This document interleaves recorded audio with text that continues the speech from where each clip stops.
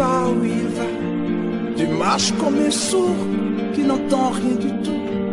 Tu t'en fous de Dieu, tu te moques de sa Bible, mais un jour, tu couleras des larmes pour tout cela. Tu vas couler des larmes, tu vas pleurer un jour. Dis-moi tu mourrais ce soir, mais que diras-tu à Dieu? Si tu mourrais demain? Que diras-tu à Dieu? Mais si tu mourrais ce soir, que diras-tu à Dieu? Si tu mourrais demain, que diras-tu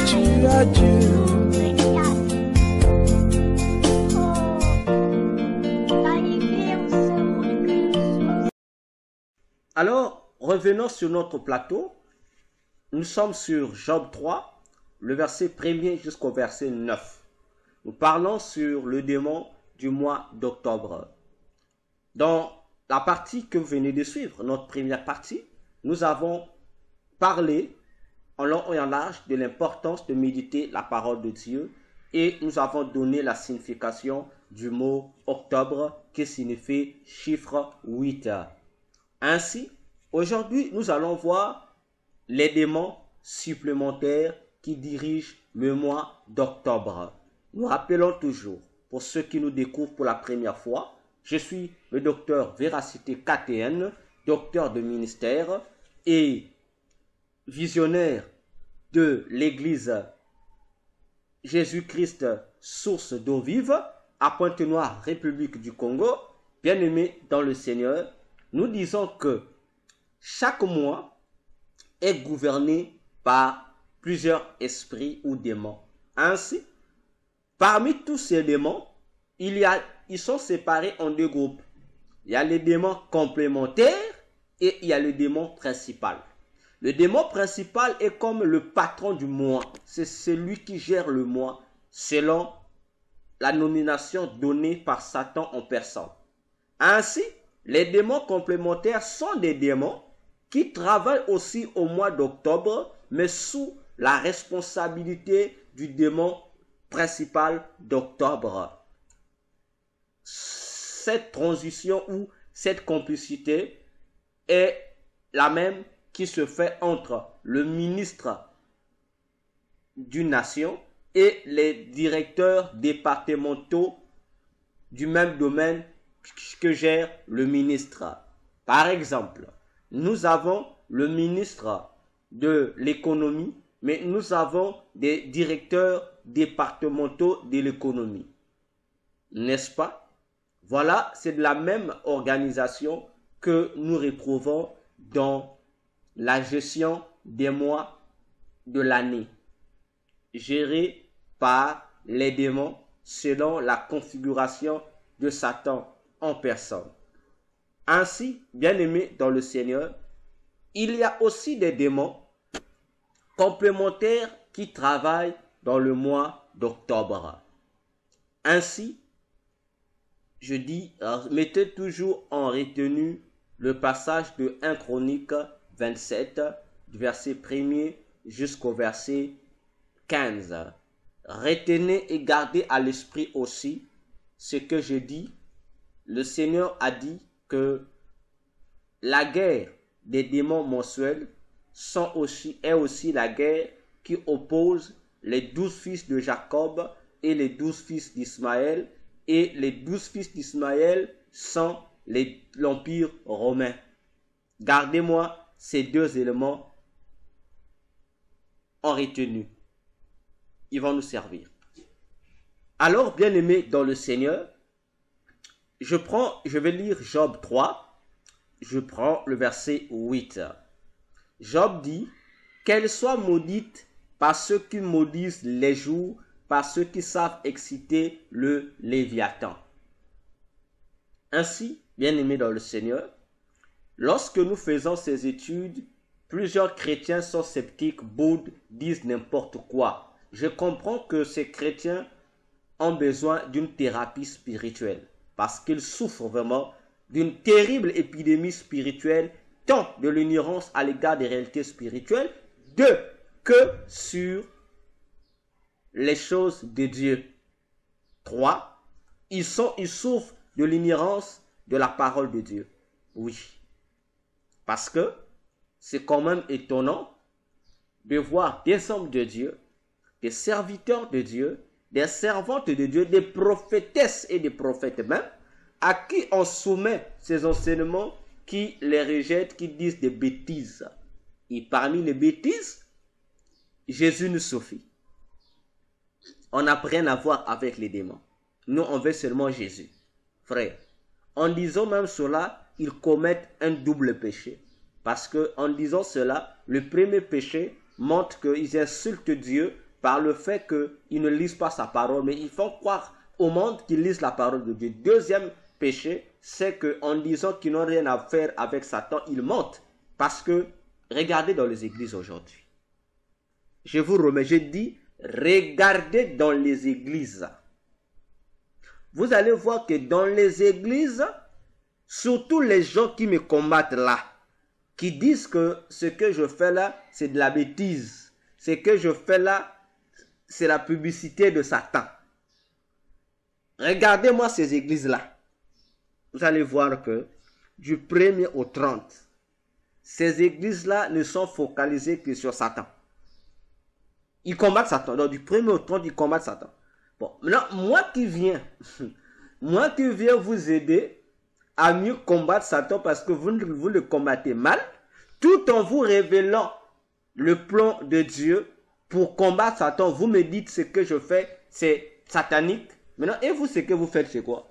Moi, je ne viens pas dire aux gens d'être tout le temps là à combattre Satan. Non.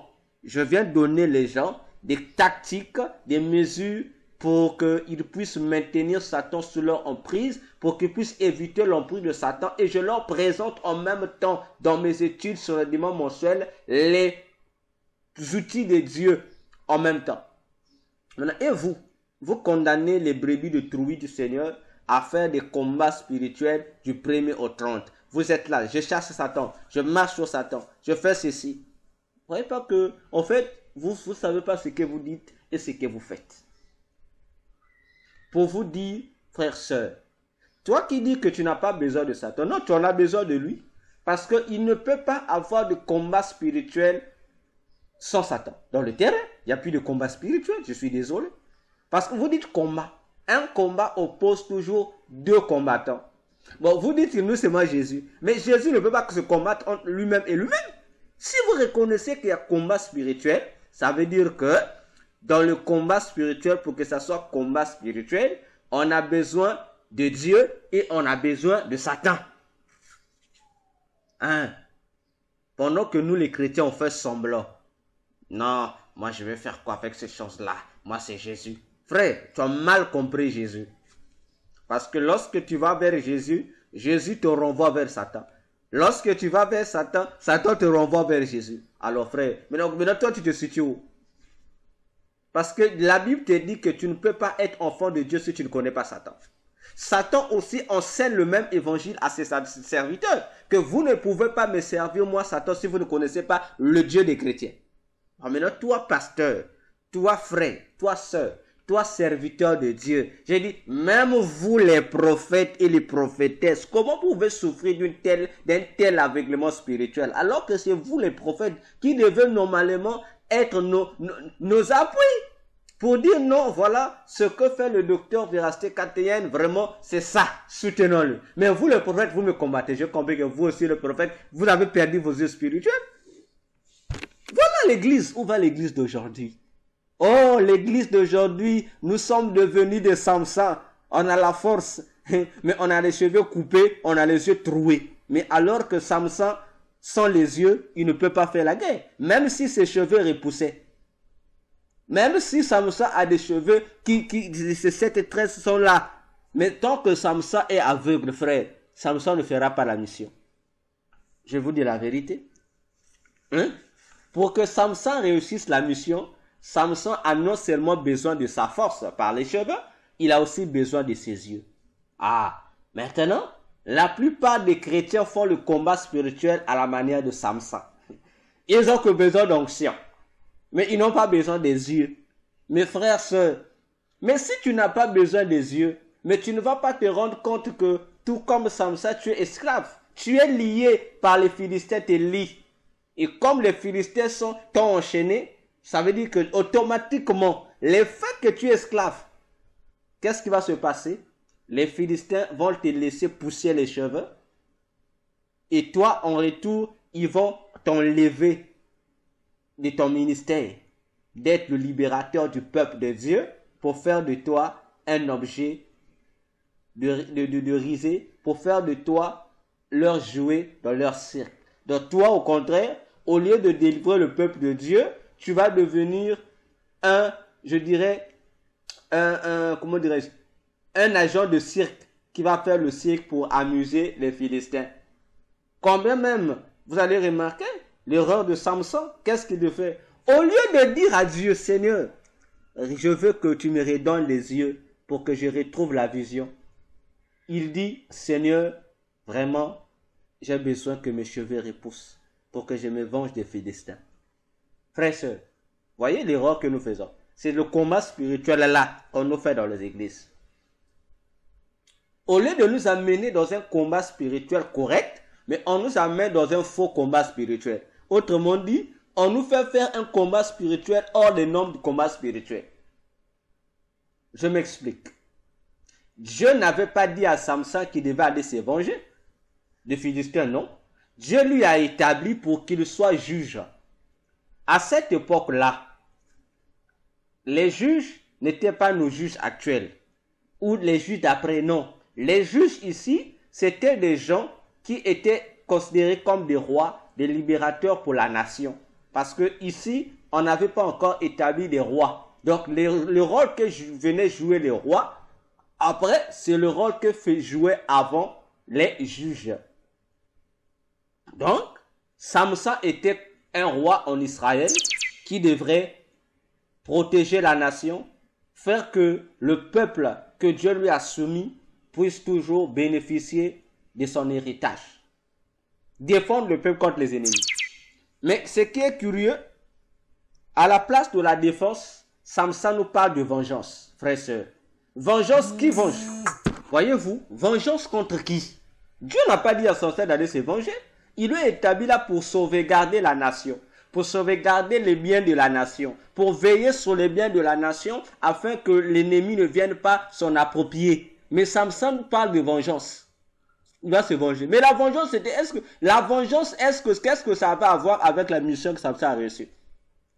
Si vous lisez, vous allez voir que Samson se venge de quoi? Il se venge des fils de ses ennemis, pas par rapport à la mission, pas par rapport à ce que les ennemis ont fait sur le haut peuple, mais par rapport à ce que les ennemis ont fait sur lui, Samson. Par rapport à ce que les ennemis lui ont fait subir lui, Samson. Donc Samson a fait de, la mission qu'il a reçue une affaire personnelle.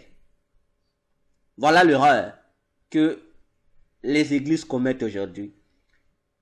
La mission de Christ est devenue une affaire personnelle des individus. C'est pas une affaire personnelle, mon frère. Dans Matthieu 28, le verset 19 à 20, on a dit fête des nations. C'est une affaire collective. Hein? Voilà pourquoi plusieurs visions sont en train de mourir. Et Samson a oublié qu'il avait une mission pour un peuple, pas pour lui-même. Mais il a laissé le peuple pour maintenant mettre ses propres intérêts personnels et égoïstes en scène. Et on voit la suite. Dieu lui a redonné l'ambition. Et mais Samson est mort avec les ennemis. Hein? Alors que Dieu n'avait pas envoyé Samson mourir avec les ennemis? Ah, voilà l'erreur. Donc nous aussi dans nos églises, les pasteurs Samson aussi, nous transformons en des Samson. On te dit, la puissance, on parle de puissance, gloire. Mais tu es aveugle spirituellement. Qu'est-ce que, à quoi va te servir la gloire? Dis-moi. À quoi va te servir la richesse? À quoi va te servir l'onction de Dieu si tu es aveugle? Rien. Parce que tu vas faire la même erreur que Samson. Tu vas mourir avec les ennemis. Et voilà pourquoi plusieurs hommes de Dieu aujourd'hui sont en train de mourir comme des ratés, comme Samson. Mission échouée. Dieu met zéro. Ils ont échoué à la mission. Alors que nous devions demander nos yeux. Pourquoi? Parce que Jésus a dit, l'œil, les yeux sont la lampe du corps. Et Jésus dit, si ton œil est en bon état, tout ton être est en bon état. Pour te dire, Église, le combat spirituel qu'on te fait faire, c'est un faux combat spirituel.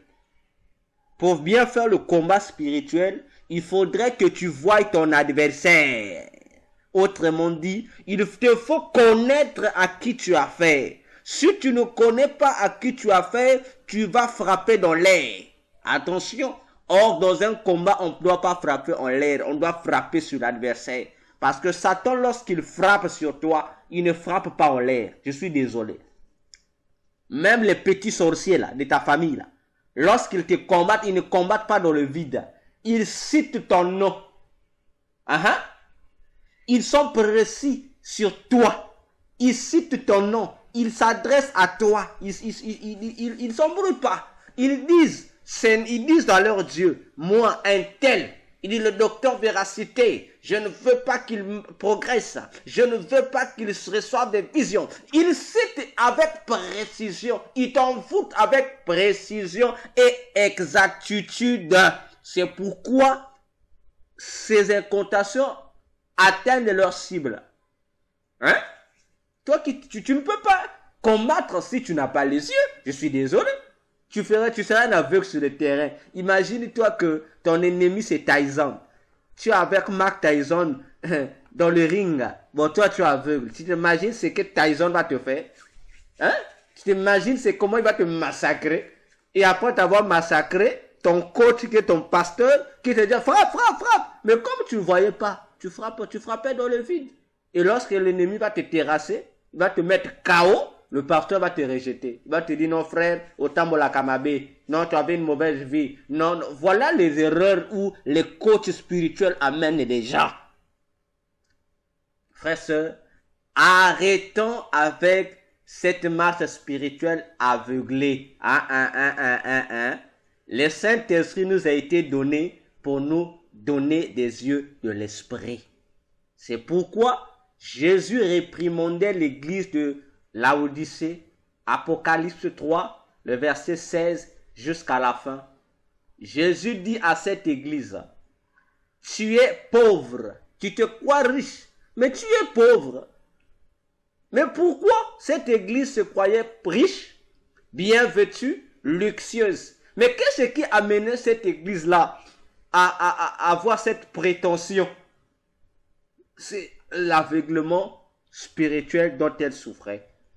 Une église de Jésus, hein, mais qui était aveugle.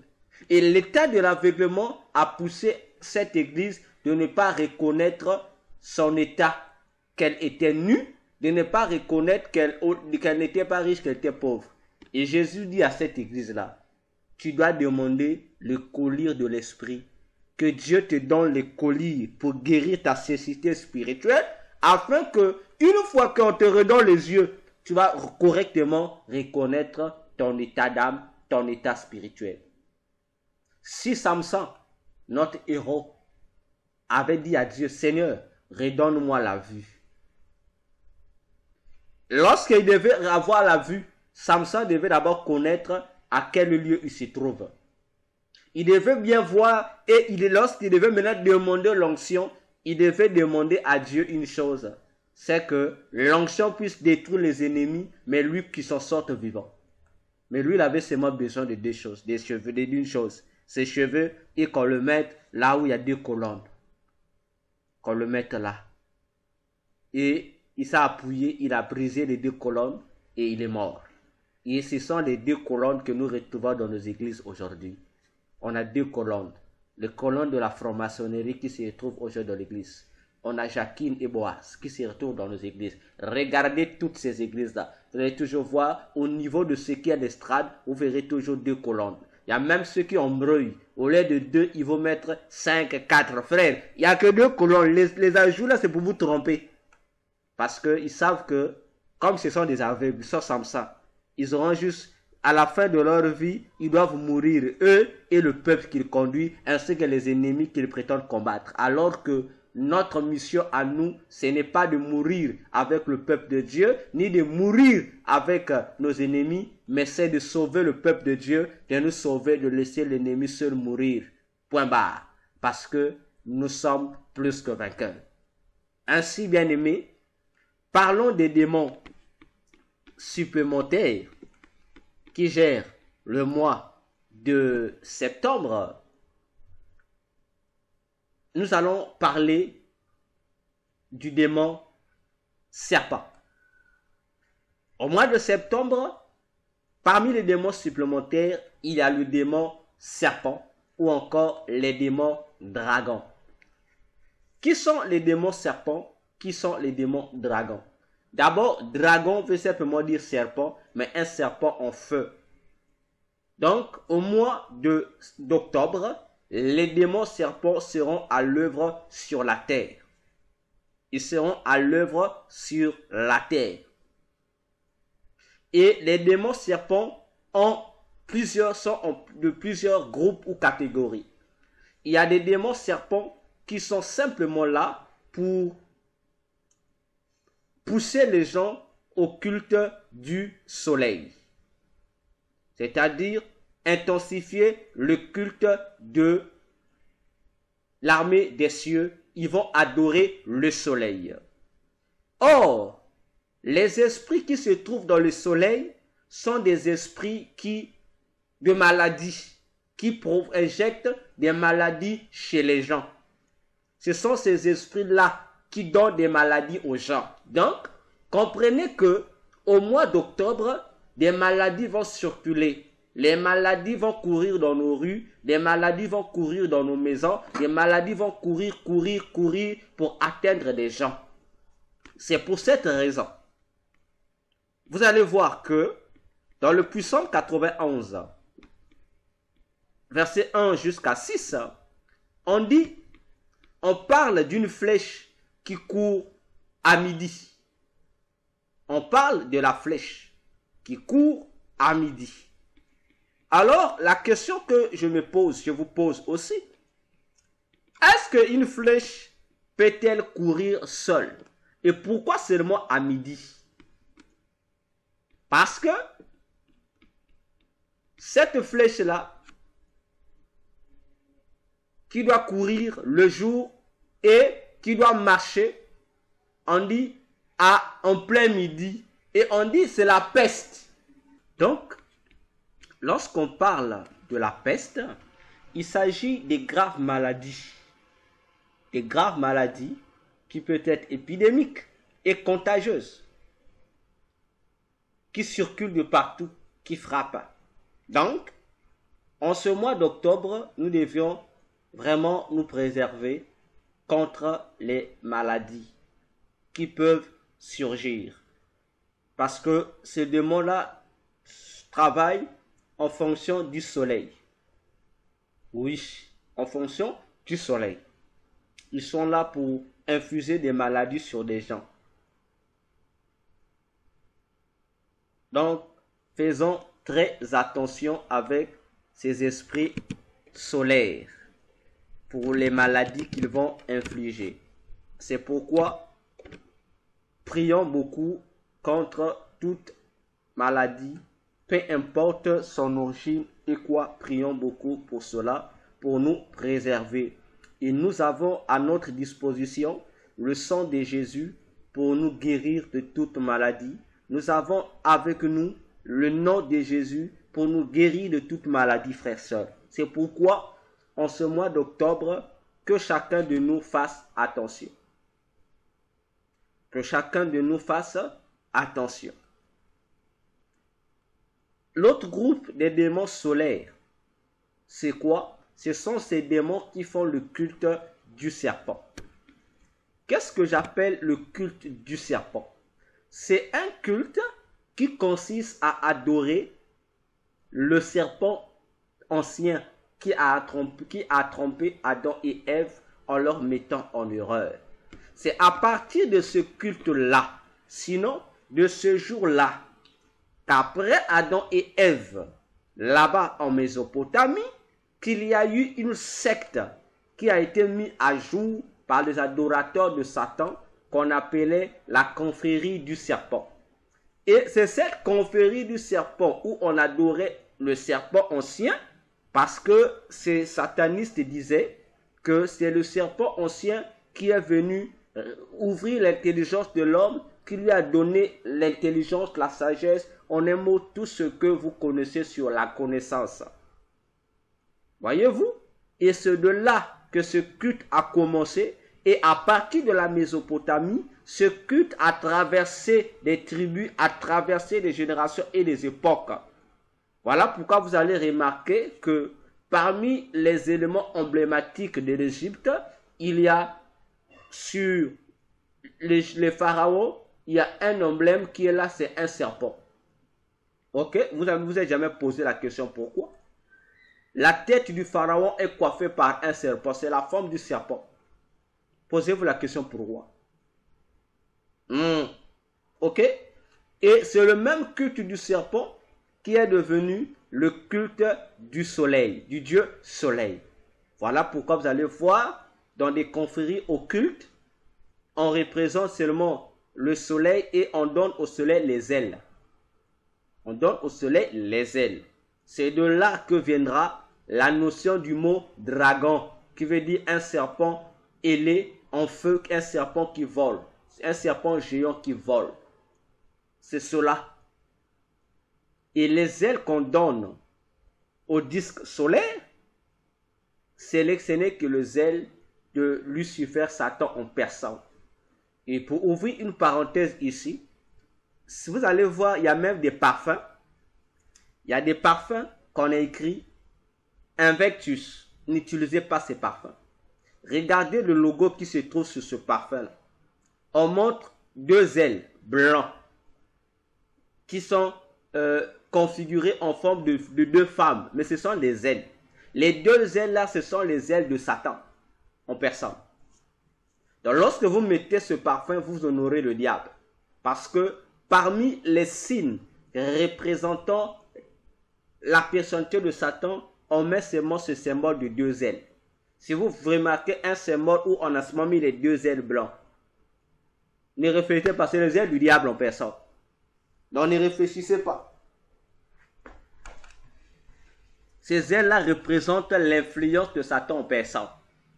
Partout, vous allez voir ce signe-là que ça soit sur une marque commerciale. Comprenez que cette marque commerciale a un pacte direct avec Satan, Lucifer en personne. Voilà l'un des, signes pour reconnaître l'influence de Satan en personne dans le monde. Et je vous apprends. Il y a des gens sur cette terre qui ont directement fait alliance avec Satan en personne, sans passer par des intermédiaires. Parce que il y a des gens qui font alliance avec Satan en, passant par des intermédiaires, c'est-à-dire par un démon donné, par un féticheur, un gourou donné. Mais il y a de ceux-là qui le font directement avec Satan en personne. Et je vous apprends encore. Dans le monde, il y a une journée qui est réservée pour le culte de Satan. Dans le monde entier. Il y a une journée où on dédie spécialement le culte à Satan.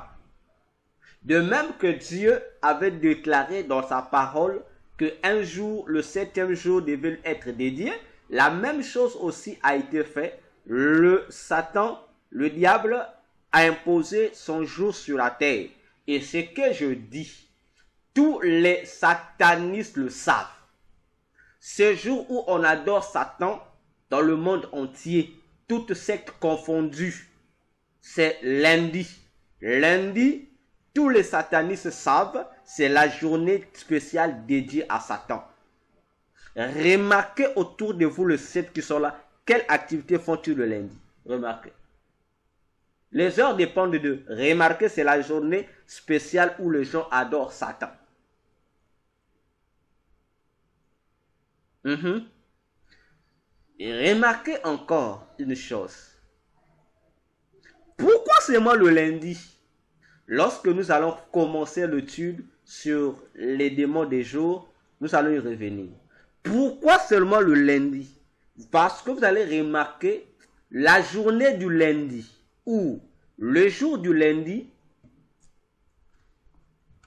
c'est l'unique jour de la semaine où les églises dans le monde entier prient moins. Parce que après les cultes de dimanche, le lundi, les églises se reposent. Donc le lundi est la journée majoritairement parlant où toutes les églises, la plupart des églises du monde n'ont pas d'activité.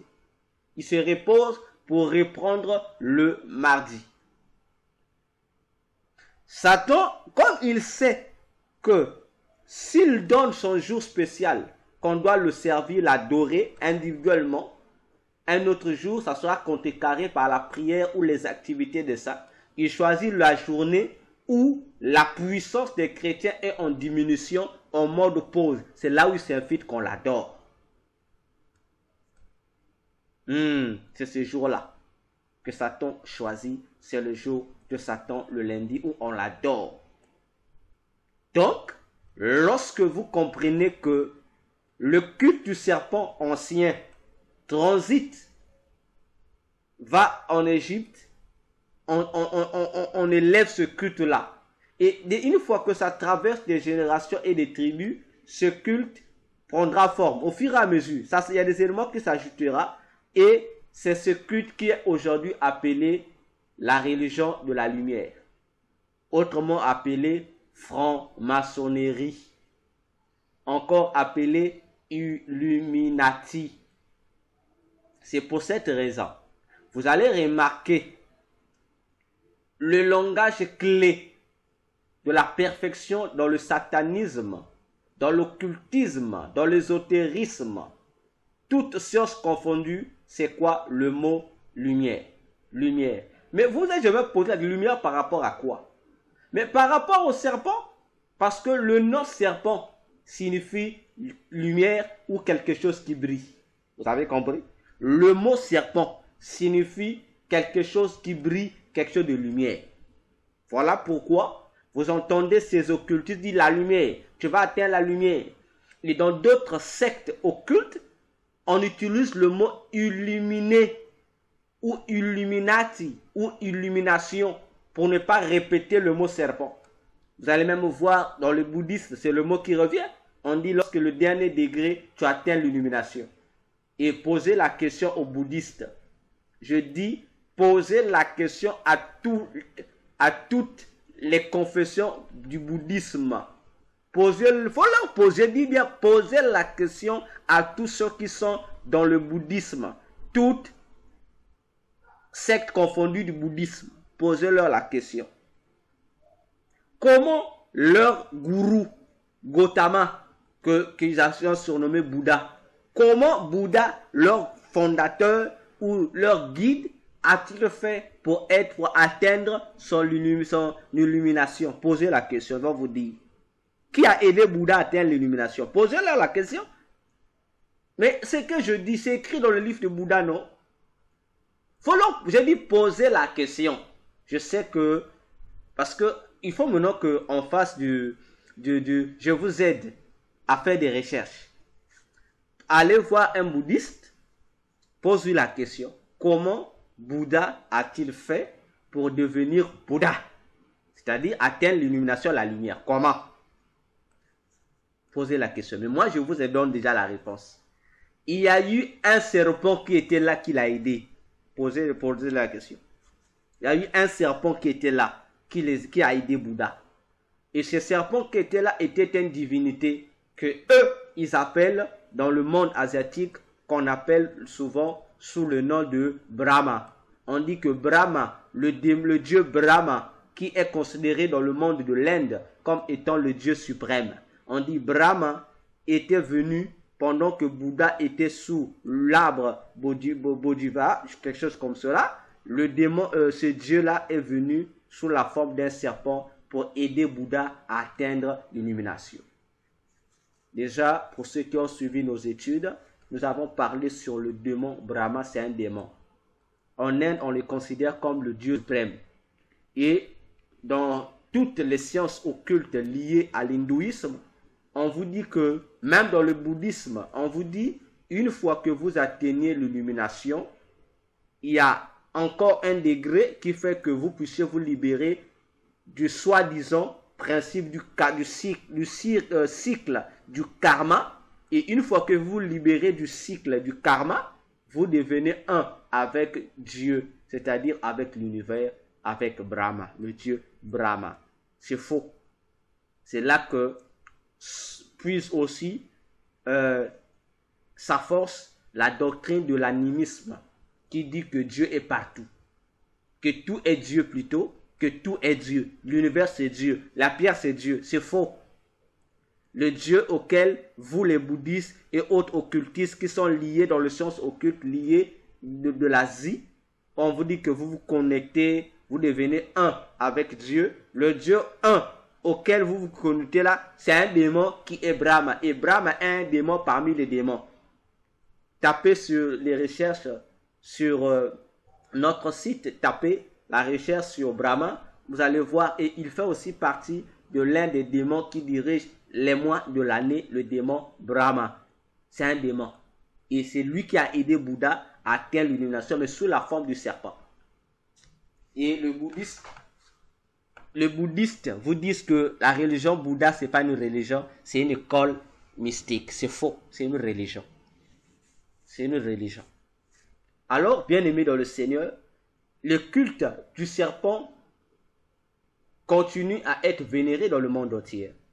Il n'y a pas une tribu qui n'adore pas le serpent. Quoique, aujourd'hui, c'est plus les tribus asiatiques et les tribus amérindiennes où on voit le culte du serpent, mais le culte du serpent continue. Sur plusieurs fois, c'est le même culte qui est vénéré. Donc les formations adorent le serpent qui est appelé là-bas le grand architecte de l'univers. Là-bas, on l'adore. C'est le serpent. Et on utilise le mot illumination. Et voilà pourquoi vous allez voir, on représente souvent ça sous la forme de l'œil. Pourquoi? On dit c'est la connaissance. Lorsqu'on veut vous attirer dans les sciences occultes ou à intégrer des conférences occultes, on dit toujours la connaissance. Tu dois atteindre la lumière. C'est un mensonge parce que c'est une fausse lumière. La véritable lumière, c'est Jésus de Nazareth. Si tu veux avoir la véritable lumière, la véritable connaissance vient en Jésus, tu trouveras cela. Pour vous dire, faites attention au mois d'octobre à ce culte du dragon et au culte du serpent qui vous attirera à intégrer de fraternité au culte. Toujours une autre catégorie de ces démons serpents, c'est quoi? C'est le culte du mensonge. Oui. Il y a des démons qui sont en la forme du serpent, qui utilisent le mensonge comme art pour séduire les gens, pour les mettre en erreur. Et ce sont ces catégories de démons qui gèrent dans le monde de Satan le domaine qu'on appelle le domaine de la prophétie, le domaine des visions et autres. Couramment, on appelle souvent esprit de Python. Python, hein? C'est un serpent. Si vous voyez Access, par exemple, vous allez voir cette femme qui prophétisait, mais c'était par l'esprit de Python, un démon. Et c'est pourquoi aujourd'hui, plusieurs faux prophètes viennent dans le monde parce qu'ils puisent leur puissance de ces esprits-là de Python qui sont en eux, qui agissent. Attention. Attention aux prophéties. Attention aux visions. Faites-les passer au scanner de la parole de Dieu. Parce que je vous le dis, il y a plusieurs prophètes, faux prophètes, qui ont envahi le monde avec ce message-là. Ils sont nombreux dans le monde. Attention. C'est le culte du mensonge. C'est pourquoi Jésus disait dans Apocalypse 22, le verset 15 à 16, que quiconque aime et qui pratique le mensonge n'entrera pas au ciel. Donc, les faux prophètes qui vous séduisent par des fausses prophéties vous conduisent dans le feu éternel, sont en train de vous empêcher d'entrer au ciel. Vous qui aimez les prophéties, et regardez les prophéties qu'on vous donne. Toujours prophéties sur le voyage. Dans ces prophéties, on ne vous donne pas de prophéties pour vous dire quittez le péché. On ne vous donne pas de prophéties qui vous préviennent des malheurs. Non. Mais c'est moi la prophétie de bénédiction. Prophétie, tu vas, tu vas, tu vas connaître une percée. Non, tu vas atteindre telle dimension, frère. Ce sont des prophéties de la chair qui vont vous conduire en enfer. La vraie prophétie, c'est celle qui te redresse sur le chemin de Dieu. C'est ça la vraie prophétie. Toi qui aimes les prophéties, frère, fais attention. Surtout les femmes, vous qui aimez toujours qu'on vous dise des choses, des bonnes aventures. Frère, prie Dieu. Il a dit dans Jérémie 33, le verset 3, Invoque-moi, je te répondrai, je te ferai connaître des choses cachées que tu ne connais pas. Tu n'as pas besoin d'aller consulter un marabout ou un faux prophète qui te taxe les consultations à tel montant. Déjà, je le répète, lorsque tu vas voir un serviteur de Dieu qui te dit pour te recevoir, pour te consulter, tu dois payer une certaine somme d'argent, même si c'est un franc, faut dire à cet homme de Dieu que tu es un faux prophète. Sors de là. Je dis sors de là.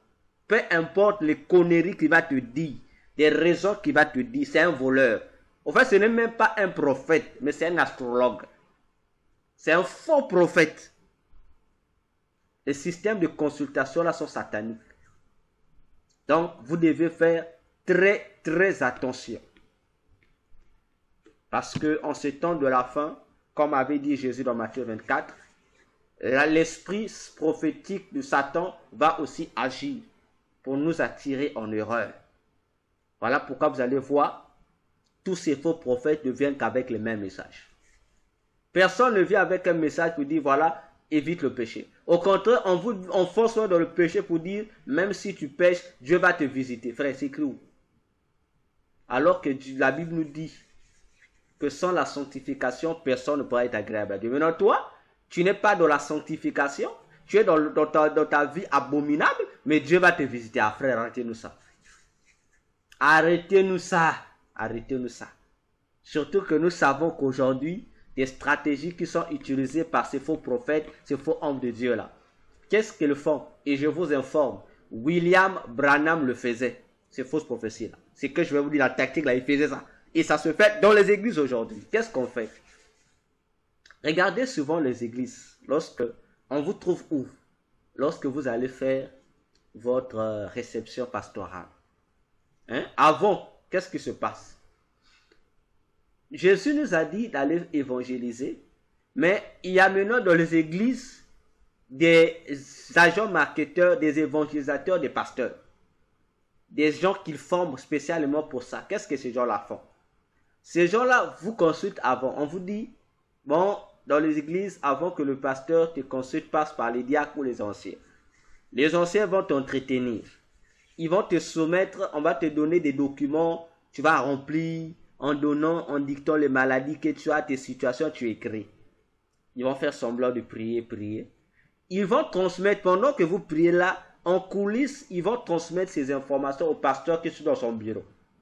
Donc avant que le pasteur n'arrive, le pasteur a déjà ton dossier. Il lit. Il a la connaissance. Et à un moment donné, on va t'amener. On dit, bon, c'est le tour de telle personne, vas-y.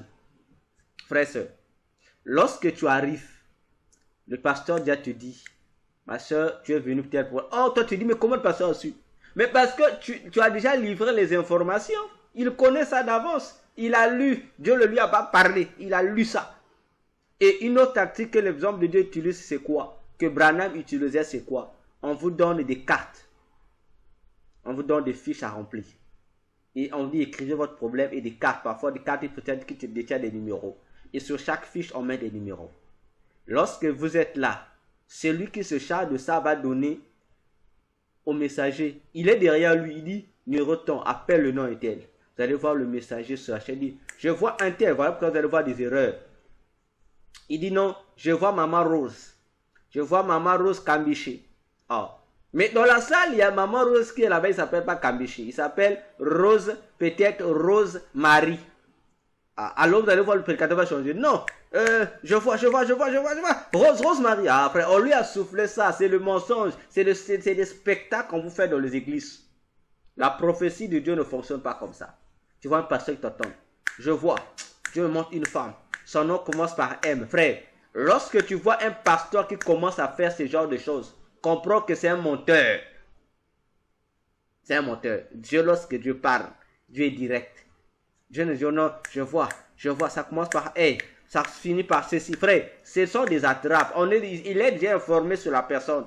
Ou encore, il paye des gens qui viennent de l'église lorsqu'il fait. C'est un business, non? C'est un business. Faisons attention à ces manipulations démoniaques dans les églises. Voilà, frère, soeur. La prophétie ne te bénit pas. C'est l'obéissance à la parole de Dieu qui te, qui, te bénit. C'est la complémentarité, c'est-à-dire la, manière dont toi tu vas t'impliquer à craindre l'éternel. C'est cette manière, cette attitude qui va attirer sur toi les bénédictions de Dieu. Attention, Église. Ces pasteurs, ces prophètes ne vous parlent pas du ciel. Ne vous demandent pas de préparer vos vies au retour de Jésus. On vous parle de tout sauf ces points-là. Parce qu'ils savent. Ce sont des ouvriers du ventre. Ils veulent s'enrichir. Ils veulent s'enrichir. Mais faites attention. C'est ces, ces genres d'esprits qui vont aussi influencer le mois d'octobre.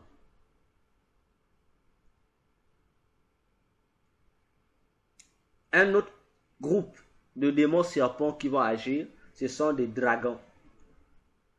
Les dragons, ils vont vous apporter des fausses doctrines. Mais à l'œil nu, vous allez voir que ces doctrines sont bonnes. Je vous rappelle et je vous rafraîchis la mémoire. Dites-moi,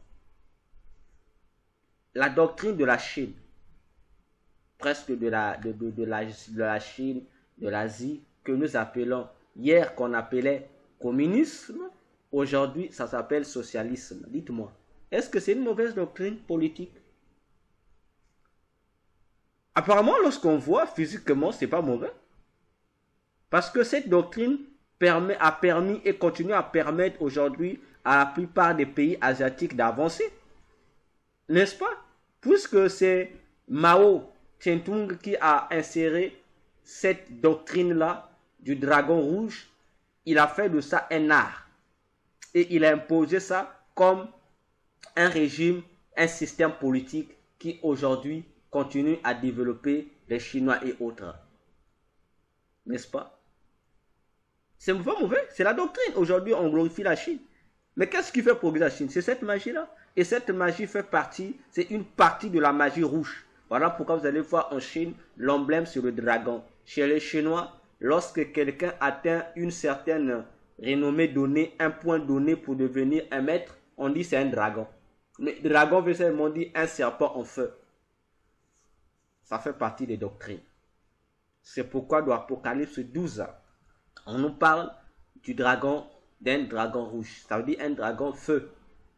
On dit, le dragon là voulait tuer la femme. Une fois qu'il a raté de tuer l'enfant conçu par cette femme, qu'est-ce que le dragon l'a fait? Le dragon là envoie, ouvre sa bouche et de sa bouche il y a un fleuve qu'il lance pour inonder la femme. Mais ce fleuve-là qui le lance, bien aimé, c'est un peuple, ce sont des démons, ce sont des agents de Satan qui doivent apporter des fausses espoirs dans le monde, des fausses doctrines d'espoir, d'espérance, de, développement. Mais derrière, il se cache une destruction, c'est pour vous détruire. Vous tous qui allez nager dans ces eaux, vous tous qui allez euh, euh, consommer les eaux de ce fleuve sorti de la bouche du dragon, sachez que vous serez perdus. C'est pourquoi vous allez remarquer, dans la plupart des pays où il y a le communisme, entre guillemets, le socialisme, vous allez voir que les gens là, les socialistes ou les communistes sont toujours contre la Bible et contre le christianisme. Ça n'a jamais attiré votre attention. Et vous allez voir que c'est même eux qui honorent l'athéisme. Et s'il y a plusieurs athées dans le monde, regardez, la plupart de ces athées ont été enfantés par le communisme, l'athéisme. Mhm. Regardez par exemple en Corée du Nord. Cet individu qui déteste la Bible, n'est-ce pas? Mais lui-même, il s'est fait adorer Dieu lui-même. N'est-ce pas? Regardez encore dernièrement, vous avez suivi que les Chinois ont consenti par une alliance avec le Vatican qui doivent modifier la Bible, que la Bible doit avoir une Bible propre à la... Donc la Bible doit maintenant faire quoi? Doit se soumettre à la vision de la Chine du monde. Frères et cela doit vous interpeller, frère. Vous imaginez ça? Donc, le président chinois, qui s'est même autoproclamé président à vie, a décidé de détruire la vision de la Bible, la parole de Dieu, pour soumettre la parole de Dieu à la vision du, monde de selon la Chine. Église, faisons attention. L'esprit de l'Antichrist agit déjà. Je dis attention. C'est que le président chinois fait, il sait qu'est-ce qu'il fait. Ça ne vous étonne pas dans le monde entier. Réfléchissons. Pourquoi il n'y a que les chrétiens qui sont persécutés? Et les chrétiens qui ne partagent pas la foi des autres chrétiens, les chrétiens évangéliques, pourquoi ils sont souvent persécutés dans le monde? Réfléchissons. Regardez dans le pays islamique. Les chrétiens souffrent torturés pourquoi? Alors que les musulmans dans les pays chrétiens, ils sont à l'aise. Dans le pays non musulman, ils sont tranquilles. Mais pourquoi eux, ils persécutent seulement les chrétiens? Ça doit vous stimuler à la réflexion. Jésus avait même dit quelque chose dans, je crois, Jean 16. Il a dit, il arrivera un moment où ceux qui vous tueront croiront rendre culte à Dieu. Maintenant, je vous pose la question. Lorsque les musulmans aujourd'hui tuent les chrétiens, qu'est-ce qu'ils disent? Ils disent que c'est un culte qu'ils rendent à Dieu. Oui, pour eux, c'est un culte qu'ils rendent à Dieu. C'est un culte. Donc, Jésus nous avait déjà mis en garde. Et la question maintenant que je vais vous poser. Regardez l'emblème de l'islam. Regardez bien l'emblème de l'islam. Vous allez voir, ils ont l'emblème d'un...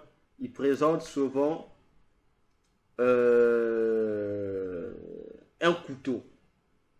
Mais le couteau là souvent est dessiné comme un serpent. Pour quelle raison? N'est-ce pas? Ça ne doit pas vous étonner. Prenez conscience. Le mois d'octobre sera influencé par ces groupes de fausses doctrines dans le monde. Un peuple, des agents de Satan qui vont vous attirer vers des fausses gloires, vers de fausses paix pour mieux vous absorber, pour mieux vous prendre dans les pièges de Satan. À vous d'être attentif et de faire énormément attention. Je vais clore cette première catégorie de démons supplémentaires, les démons solaires. Il y a une secte qui est en train de prendre de l'ampleur aujourd'hui dans le monde, qu'on appelle l'Ozolo Amour, OPH, qui appartient à un faux Dieu qui se dit grand maître Guy-Émile Loufoy Sétiquabo. Ce, ces hommes-là aussi adorent le Dieu soleil. Et vous allez voir la danse phare de cette organisation satanique c'est, est appelée le dombage. La danse qu'ils font est appelée le dombage. Je vous informe. La danse du dombage, c'est une danse qui est faite dans les contrées d'Amazonie auprès des peuples, des tribus qui font le culte du serpent anaconda ou le culte du serpent.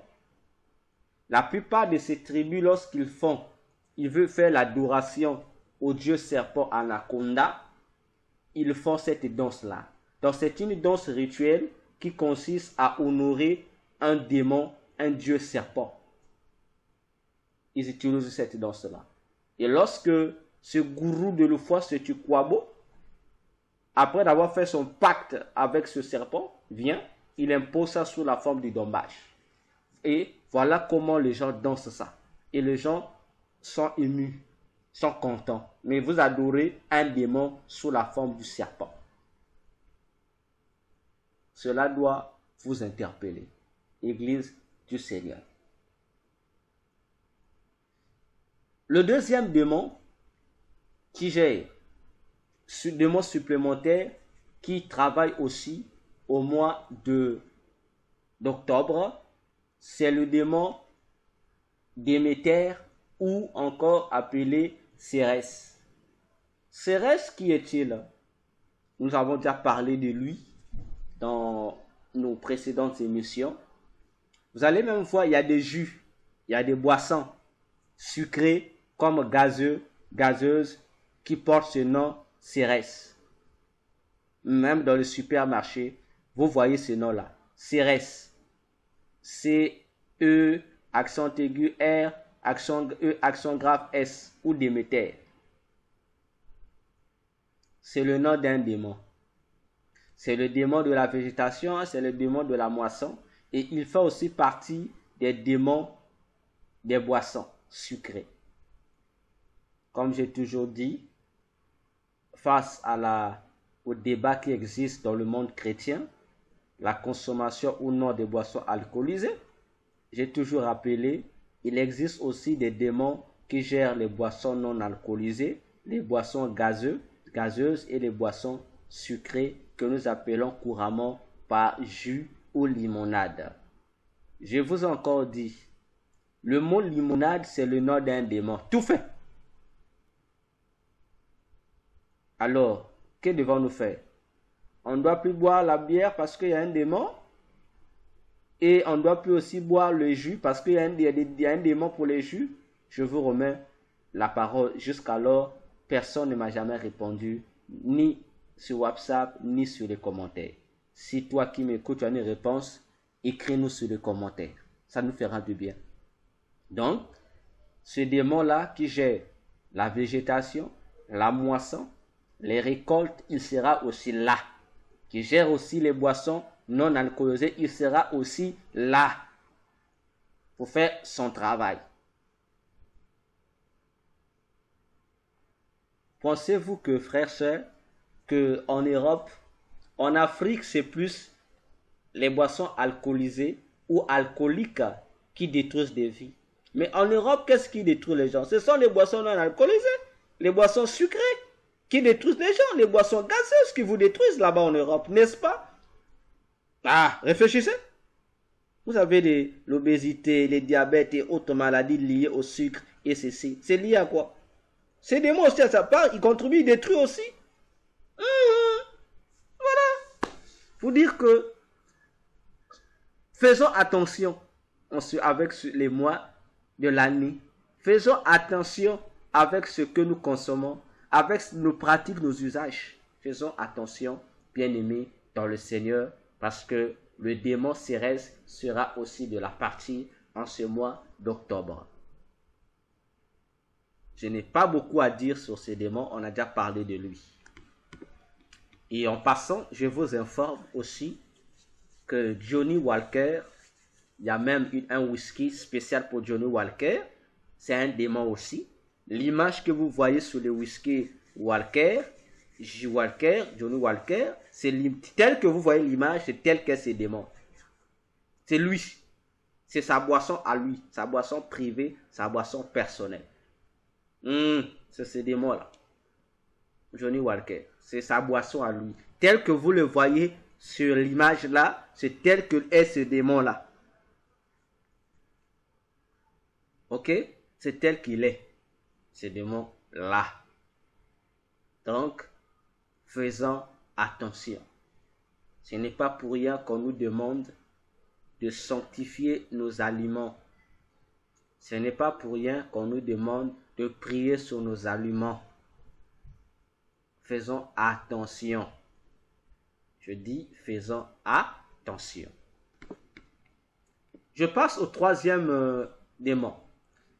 Au mois d'octobre, parmi les démons supplémentaires, il y a les démons de la sorcellerie aussi qui agissent. Je parle des démons de la sorcellerie qui agissent. Et lorsque je fais mention des démons de la sorcellerie, vous devez déjà comprendre que les sorciers sont aussi de la partie sur leur moi. Vous me direz, vous me direz sûrement comment?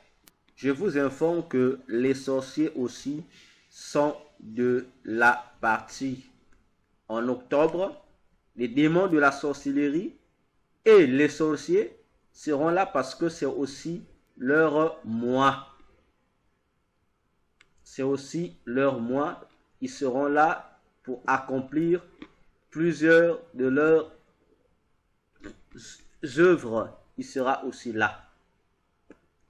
C'est pourquoi je vous ai dit dernièrement dans l'une de nos émissions que parmi les maîtres des sorciers, vous avez leur maîtresse des sorciers, les patronnes, vous avez Liliane.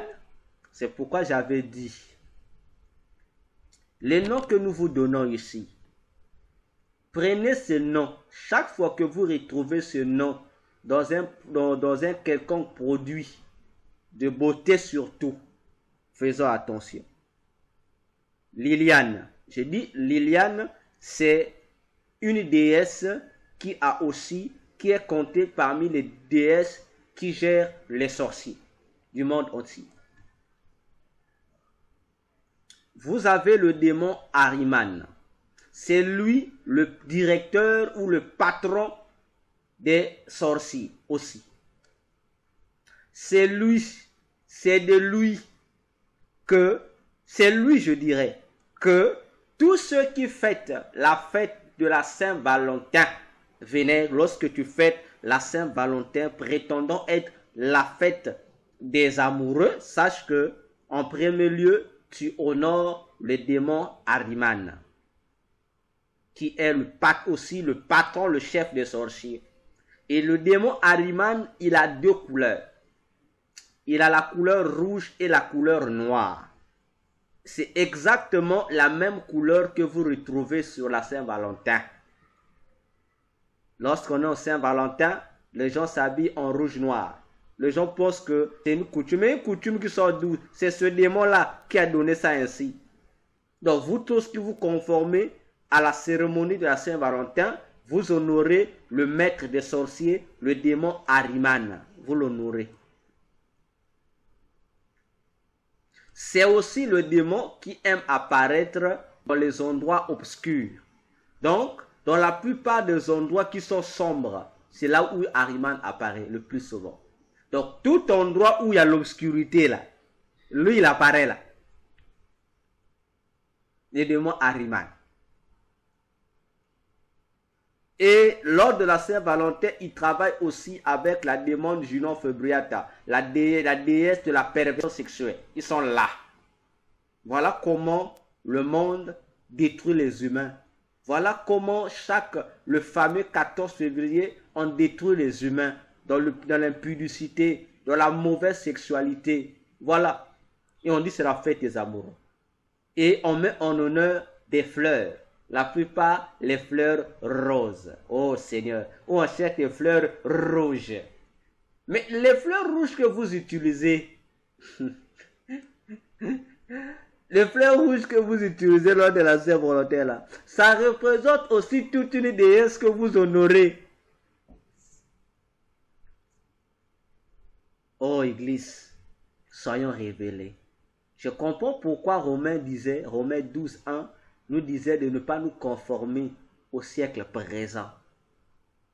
D'être au contraire renouvelé par l'intelligence que dans le Saint-Esprit. C'est à cause de ces choses-là. C'est à cause de ces choses-là. Pour vous dire, faites attention. Les sorciers seront de la partie. Ils vont faire leur boulot parce que octobre c'est leur jour.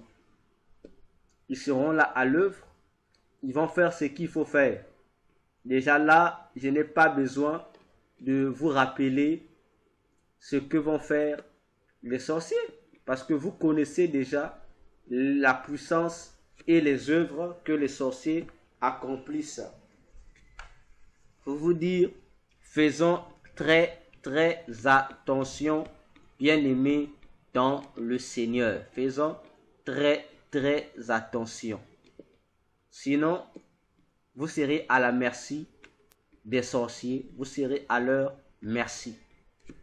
Ils seront là, les sorciers, parce que au mois de septembre, parmi les dates que eux, les sorciers, utilisent le plus souvent pour leur euh, rituel de la sorcellerie, ils utilisent les dates des nombres pairs, plutôt les dates des nombres impairs.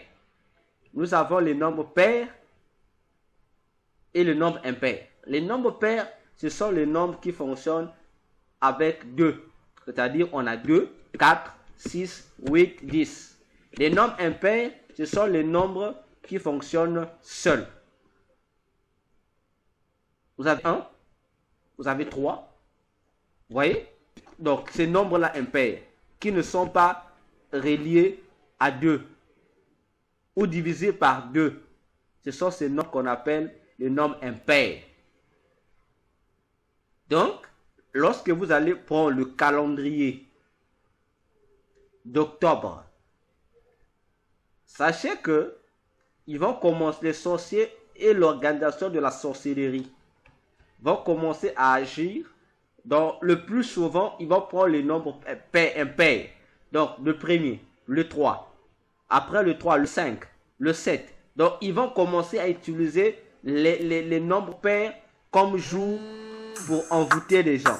Donc, vous devez vraiment prendre des précautions pour prier. Nous ne vous disons pas ces choses-là pour vous faire peur. Au contraire, c'est pour vous donner plus de force afin que vous sachiez comment fonctionne l'organisation de la sorcellerie pour mieux les terrasser. Parce que le monde des sorciers ne sont que, n'est que réparti en trois mondes. Le monde des sorciers n'est réparti qu'en trois mondes.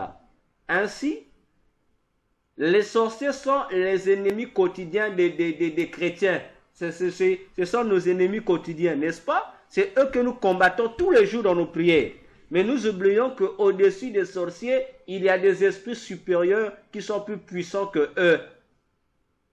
Donc nous nous limitons, et ce n'est pas de notre faute, hein? ce sont les bergers des églises, les pasteurs qui nous désorientent dans le combat spirituel, qui nous amènent à comprendre que nos véritables ennemis, ce sont des sorciers. Mais alors que c'est faux.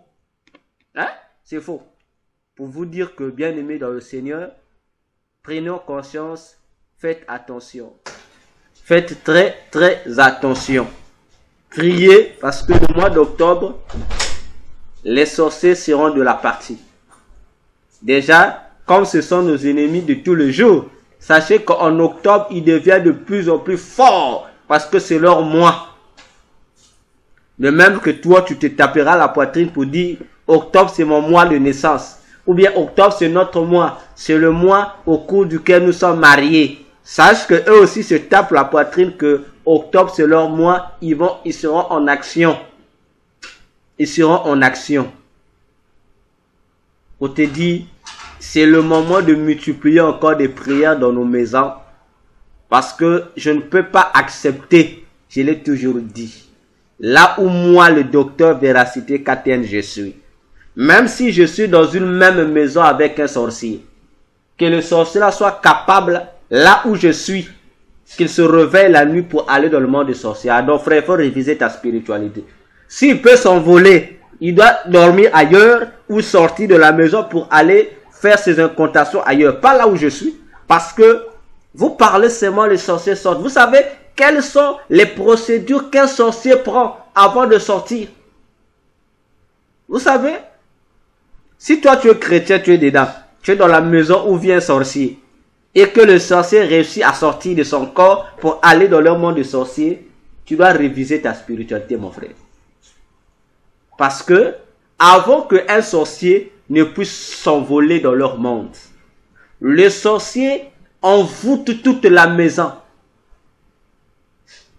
Il souffle sur tous les gens de la maison une poudre satanique qui va amener les gens dans l'inconscient. C'est-à-dire, il va inoptiser la maison. De sorte que personne dans la maison n'aura l'idée de, de, de, déranger. Il te met sous l'hypnose d'abord. Il sort. Tu n'auras même pas le temps de prier. Il sort. non seulement qu'il il va inoptiser les gens de la maison, mais il va vous soumettre sous une influence de sorte que vous soyez dans la lourdeur. Troisièmement, il va faire de telle sorte que personne d'entre vous n'ait l'idée d'aller le réveiller, lui le sorcier qui a laissé son corps sur lit, ni même d'entrer dans sa, il lui a laissé son corps. Donc il va vous envoûter au triple. Vous comprenez? Vous serez triplement envoûté. Maintenant, toi le chrétien, tu es là, tu es envoûté. Ah, faisons attention, Église. Ou si tu es là, donc tu dors dans ta maison, tu as un enfant sorcier, et que l'enfant là continue à te faire faire de, mauvais tout faire révise ta spiritualité. Révise ta spiritualité. C'est pas normal, je suis déçu. Et je suis désolé pour toi si ça t'arrive. Parce que là où un chrétien est, aucun sorcier ne peut vivre en paix. Aucun agent de Satan ne doit vivre en paix. Ah, je vous dis, hmm, je vous dis. C'est pourquoi Josué disait, dans Josué 24, verset 14 à 15, Josué disait, moi et ma maison, nous servirons l'éternel. Maintenant, toi et ta maison, vous servez qui? C'est à nous de rendre mal à l'aise tous les agents de Satan qui se trouvent dans nos maisons. C'est à nous. Mais si ce sont les sorciers et les agents de Satan de ta maison ou de ta famille qui commencent à te rendre mal à l'aise, ah, mon frère, ma soeur, en tout cas, il y a un problème, un déséquilibre spirituel au-dedans de toi. Tu dois bien réviser l'alliance que tu as avec Jésus. Tu dois faire très attention avec cela, bien-aimé dans le Seigneur. C'est ici, frères, sœurs, que nous prenons encore une pause pour revenir plus tard dans la continuité de notre étude sur le démon complémentaire du mois d'octobre. Que Dieu vous bénisse. Après avoir suivi cette émission, recueillez-vous dans la prière, priez le Seigneur, priez aussi pour moi, afin qu'il me soit toujours donné la force, la puissance, la disponibilité de parler de la part du Seigneur. Partagez la vidéo, partagez le lien d'abonnement. Abonnez-vous également massivement sur notre chaîne pour que nous formions un bataillon des guerriers, des soldats pour Christ. Que Dieu vous bénisse. Bye bye. À bientôt.